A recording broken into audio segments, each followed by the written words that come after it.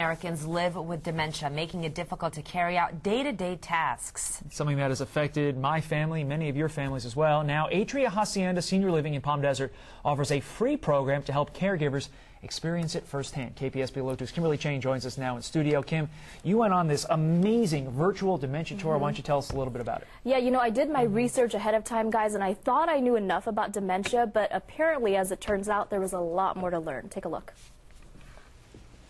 First, I gear up. Um, the goggles are creating um, a sense of macular degeneration. Earphones playing sounds of static and sirens to make it difficult to focus.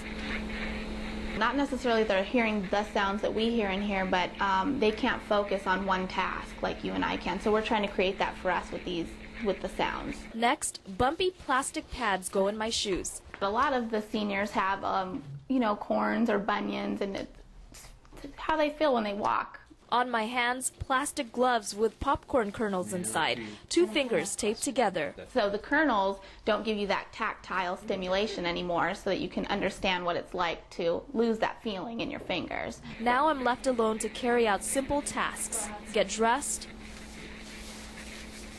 The pain in my feet is really hard to walk. Fold laundry. I've lost my peripheral sight, so it's kind of hard to see around me. Write a letter. This is really difficult because I don't have much mobility in my fingers. In the end, the equipment comes off, but for millions, this is their life. Daniel Fox works on the virtual tour. His mother has dementia. When I ask her a question and she doesn't answer the question directly, it helps me understand why she'll always ask me how my family is but you'll never ask me my children's names. Many who have been on the tour say it's eye-opening. Something so simple that, you know, we would take for granted, how, how much they depend on us to get them that glass of water.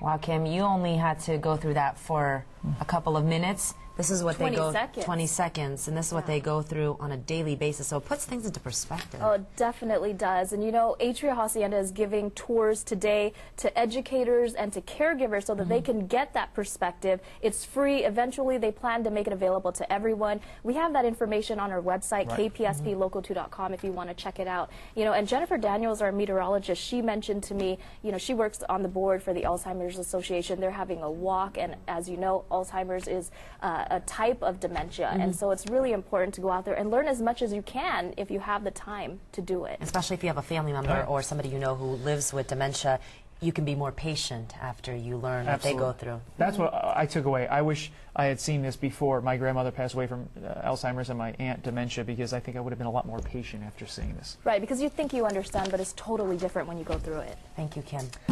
We still have a few months until we need to file our tax returns, but that doesn't mean we should wait until the last